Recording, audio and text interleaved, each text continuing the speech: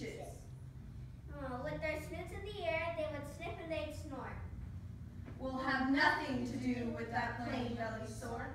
And whenever they met someone they were out walking, they'd hike right on past them without even talking. Huh. When the star-bellied children went out to play ball, could the plain bellies get in the game? Not at all.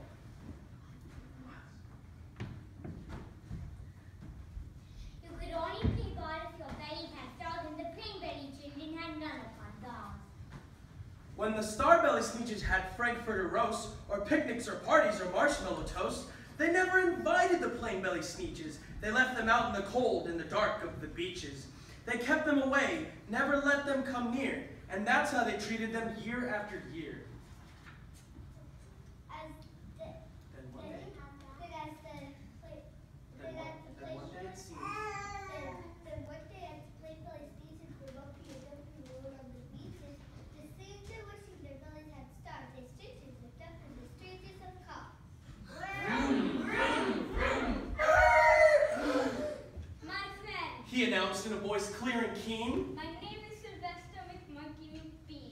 I've heard of your troubles and I've heard that you're unhappy, but I can fix that and I'll fix it up happy.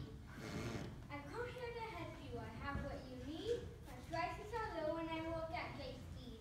And my walk is 100% guaranteed. Then quickly Sylvester McMonkey McBean put together a very peculiar machine, and he said, You want stars like a strawberry speech? My friends you can have them for three dollars each. Just pay me your money and hop right aboard. So they clambered inside, and the big machine roared, and it clonked, and it bonked, and it jerked, and it burnt, and it bopped them about. But the thing really worked. When the plain belly sneetches popped out, they had stars. They actually did. They had stars upon bowers. Hey! Then they yelled at the ones who had stars at the start exactly like you. You can't tell us apart. We're all the same now, you snooty old smarties. And now we can go to your Frankfurter parties. Good grief, groaned the ones who had stars at the first. We're still the best sneetches, and they are the worst. But now, and how in the world will we know, they all frowned, if which kind is what or the other way round? Then up came McBean with a very sly wink, and he said, Things are not as quite as bad as you think. You don't know who's who. That's perfectly true. But come with me, friends. You know what I'll do? I'll make you again the best sneakers on beaches, and all it will cost you is ten dollars each. Belly stars are no longer in style. said McBean. What you need is a tip to my star machine. So you won't so you won't look like sneetches. So you won't look like who have them upon them. And that handy machine, working very precisely, removed all the stars from their tummies quite nicely. Then with snoots in the air, they paraded about, and they opened their beaks, and you know what? They let out a shout. We know who is who. Now there isn't a doubt. The best kind of sneetches are sneetches without. Then of course those with stars all got frightfully mad.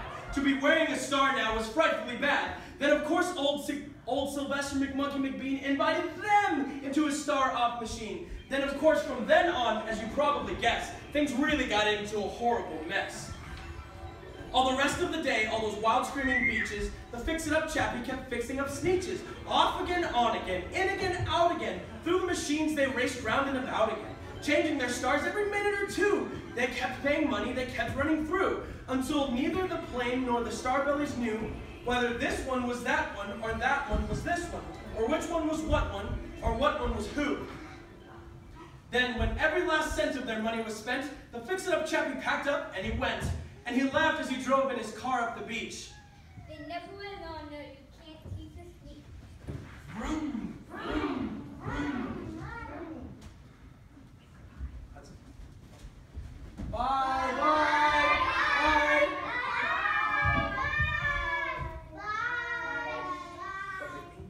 But McBean was quite wrong, and I'm happy to say that the Sneetches all got quite smart on that day. They decided that Sneetches are Sneetches, and and none kind of Sneetches are best on the beaches. That day all the sneetches forgot about stars.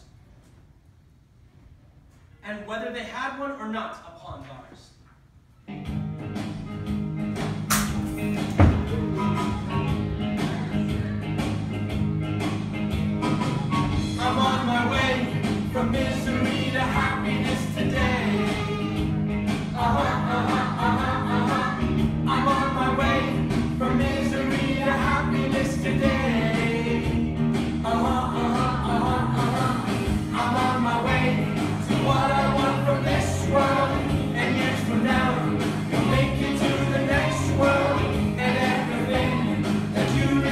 yonder